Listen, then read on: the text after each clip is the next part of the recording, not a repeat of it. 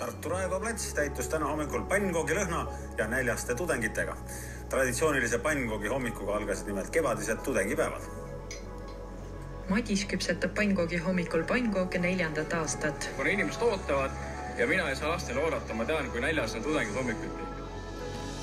I'm putting away my pride. I don't care who's wrong or right.